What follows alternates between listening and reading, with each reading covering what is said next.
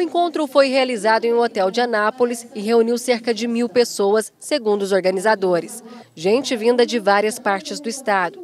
Como convidada de honra do Republicanos, esteve presente a ex-ministra e senadora Damares Alves, recepcionada pelo prefeito de Anápolis e presidente estadual do partido em Goiás, Roberto Naves. Sediar esse evento na cidade de Anápolis é um orgulho muito grande para a nossa cidade. Nada mais justo do que nós podermos receber a senadora para poder conversar, para poder orientar todas essas pessoas do estado de Goiás que querem ocupar o seu lugar. Esse lugar já, já é das mulheres. O Republicano é um partido muito organizado. Não é um partido que está na moda. É um partido consolidado. É um partido que nasceu de propostas muito concretas.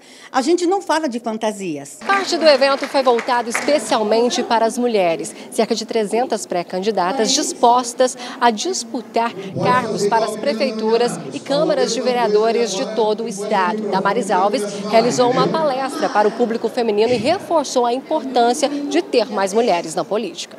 Eu encontrei aqui, nesse nosso encontro, mulheres muito motivadas a ocupar os espaços de poder e de decisão aqui em Goiás. Líderes, líderes que estavam escondidas, estavam invisibilizadas. E o Partido Republicano disse a elas: venham, venham aproveitar essa oportunidade. E elas vieram e saíram daqui muito motivadas. Também esteve presente a ex-ministra da Mulher e secretária executiva nacional do movimento Mulheres Republicanas, Cristiane Brito. Ela destacou a atenção voltada pelo Republicanos à força feminina. Nós queremos mulheres capacitadas, mulheres preparadas. Então, nós fizemos aqui uma oficina com treinamento sobre comunicação, com treinamento sobre o que pode e o que não pode agora na pré-campanha e depois na campanha.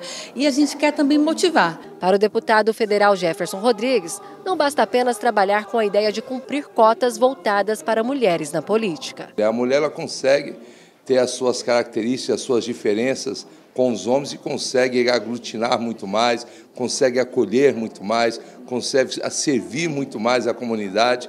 E é isso aí, que as mulheres têm que aprender também que mulher tem que valorizar o voto feminino e mulher tem que votar também mulher. Roberto Naves falou sobre o período de pré-campanha, onde irá apoiar para a prefeita de Anápolis, Elisânia Freitas, e pontuou sobre o prefeito de Goiânia, Rogério Cruz. O Rogério Cruz tem liberdade para tomar toda e qualquer decisão que ele queira tomar, ele tem liberdade para ser candidato em Goiânia ou para decidir não ser candidato em Goiânia. A conversa que eu tive com ele, que todos vocês sabem, foi uma conversa no intuito de, Rogério, como é que está?